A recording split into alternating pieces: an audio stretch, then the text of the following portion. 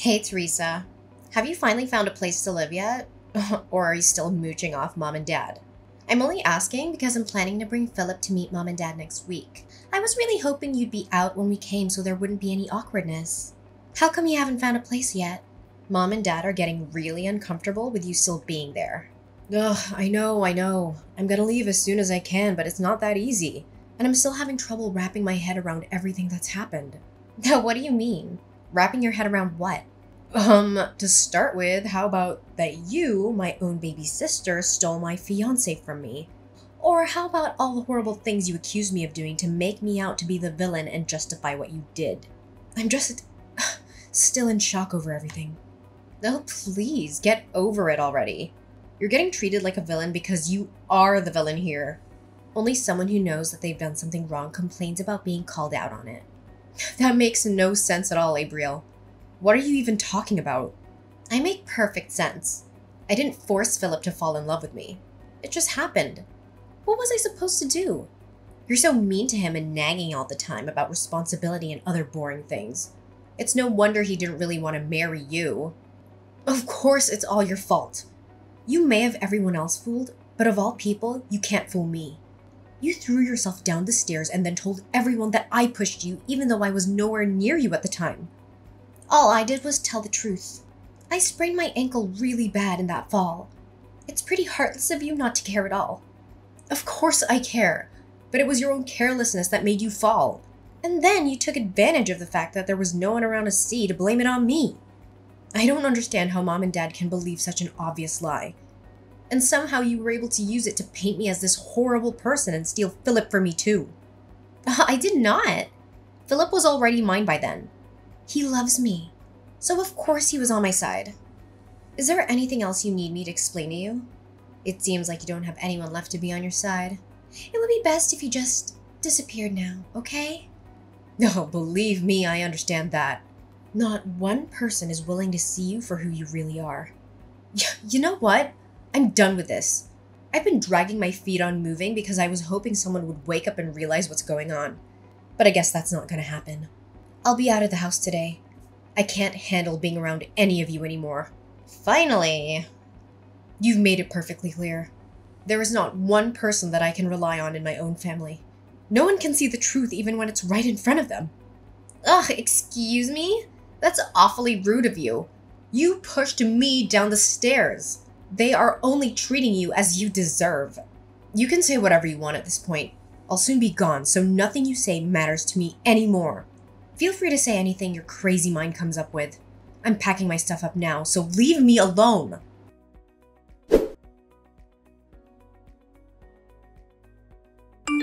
Hey, are you finally gone yet? I made an appointment with an apartment manager to view an apartment. Okay, good. You should be out really soon then. It won't take you long to pack, right?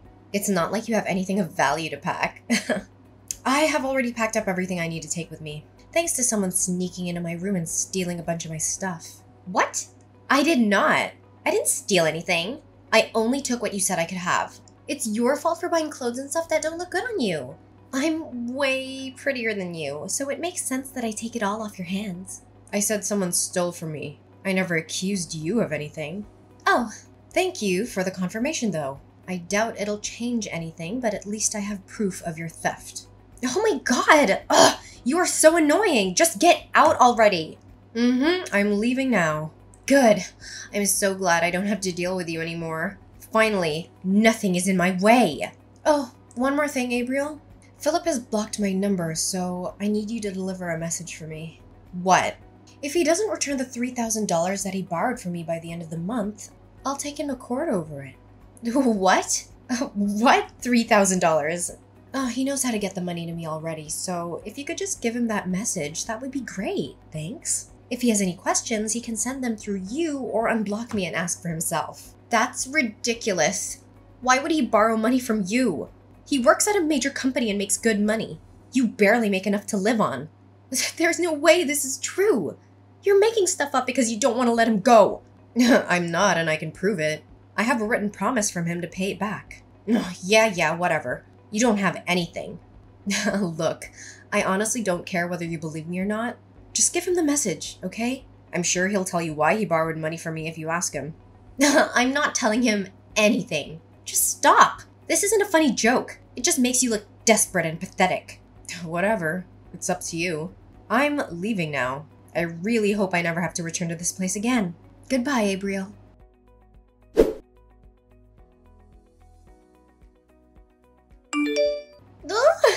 Theresa, guess what? I have some amazing news. Philip asked me to marry him. it's okay to reply. You don't have to ignore me. It was so romantic. He proposed while we were walking together on the beach. The sun was going down, and oh, it was just so perfect. It was the sweetest thing ever. Oh, congratulations. Oh, we've already started talking about the wedding. We're planning on a budget of around $50,000? Maybe a bit more when all is said and done. Really? I wouldn't get your hopes up on that. That's a lot of money. Oh, please, you're just jealous. No, I just know that he doesn't have the kind of money, and neither does our family. Oh, come on, don't be like that. Stop being such a downer. I know what your negative attitude is really about. Who cares that he has to borrow some money from you before? That's over now, and his financial situation is very different than it was then. Besides, he told me he paid you back a few days after I gave him your message. Oh, did he? Well, I appreciate that you passed along the message. He told me that he only had to borrow from you in the first place because a few unexpected expenses came up. It's pretty cruel of you to hold it over him like you did.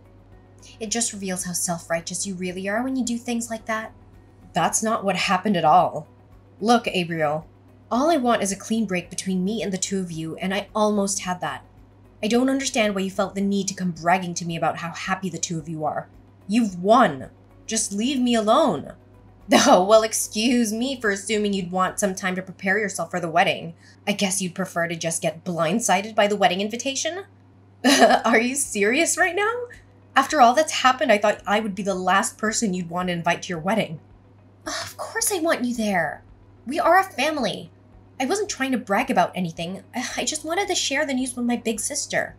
I didn't want there to be any drama if you found out from someone else, so I thought I'd tell you myself. I wouldn't have started any drama regardless of how I found out. I told you. I just want to move on and heal from all of this. Okay, fine. Be that way. Did you need anything else? Well, no, I, I guess not. I have to get back to work. oh my god, really? It's Saturday. Why are you working? Are you so poor that you had to get a side gig or something? No wonder you demanded that Philip give you the money. I changed careers and entered the hospitality industry. Weekends are just another day for me now. Oh, I didn't know you changed careers. Mm hmm. Thanks to you, I'm actually making pretty good money now. The pay here is higher than where I was working before, and I don't have to pay anything to our parents or help Philip out anymore. what do you mean, thanks to me? Isn't it obvious? If you hadn't betrayed me, I wouldn't be where I am now. I don't think there's anything else to do or say at this point. Bye.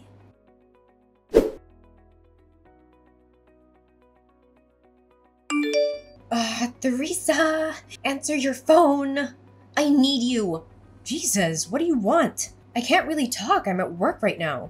Are you ready to congratulate me? To congratulate you? For what? Is your wedding coming soon? I already congratulated you for that. Yes, it's next Sunday. You did congratulate me when I told you that Philip proposed, but I wanted to talk to you about your wedding gift to us. We're sisters, so $50,000 would be the right amount to give us, I think. I'm sorry, what now? Are you seriously asking me to give you $50,000? Have you lost your mind? Well, you're my big sister. You should want to help me in any way you can. You can't put a price tag on how much sisters mean to each other. Wow, I don't even know where to begin with all of that, but I think I know what's going on here. You finally realized the financial situation that you're in, didn't you? You can't pay the costs for the big, expensive wedding you want, so you expect someone else to hand over the cash. No, it's not that. You're broke. Just admit it. That's not true.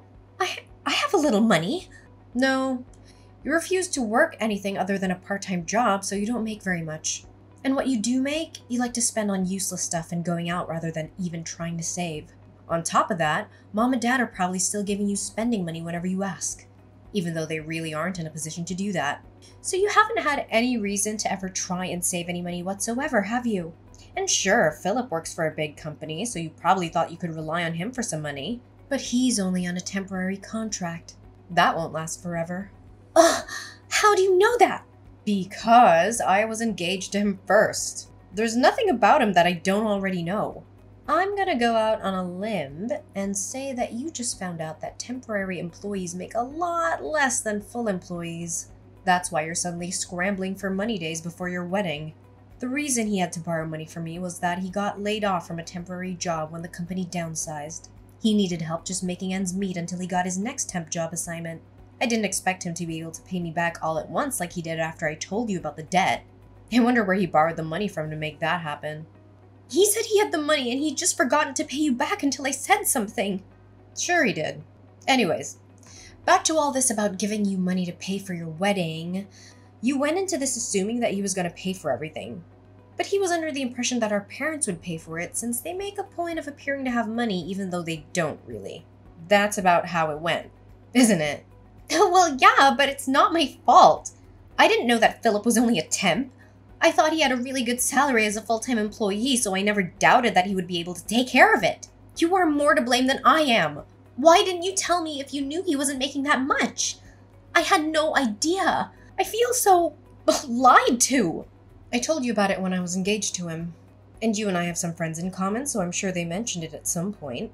No one tried to hide it from you. You just didn't want to hear about it because it was inconvenient. I know I mentioned it to mom and dad, and I'm pretty sure you were there too.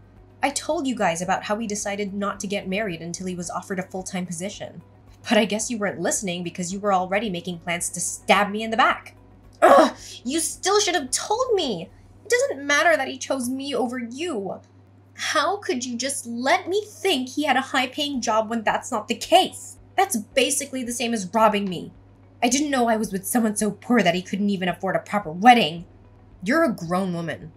Do you really need your big sister to treat you like a child and tell you every little thing? Neither me nor Philip ever made his job status a secret.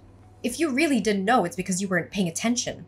You're really going to try and blame me. Why are you being so mean? If the two of you didn't have a conversation about this before now, that's a problem for the two of you. Not me, not mom and dad, no one. Just you. And you're the one that stole him from me in the first place. Anything having to do with Philip became your problem when you did that. At that point, his problems were no longer any of my responsibility. Uh, that doesn't change anything. And on top of that, you accused me of pushing you down the stairs and made me out to be a criminal. I was forced to move out because of you. There's no point in trying to point the finger at me. This is 100% your own fault. No, it isn't. You are to blame too. In case it wasn't clear enough, I will not be giving you any money. Not for your wedding or any other reason. No, Teresa, please. I'm your sister. You should want to help me out. Even if I wanted to, I don't have that kind of money to throw around. Please, I'll do anything. If we can't pay for it by Sunday, the wedding will have to be canceled. We've already invited so many people, and it would be so embarrassing to have to cancel at the last minute. Besides, I don't even have enough money for the cancellation fee if it came to that. We have nothing. Please help me just this once. You never have to hear from me again if you don't want to. If you help me, I'll be a better sister. I promise. I'll be there for you always. Oh, please, Teresa.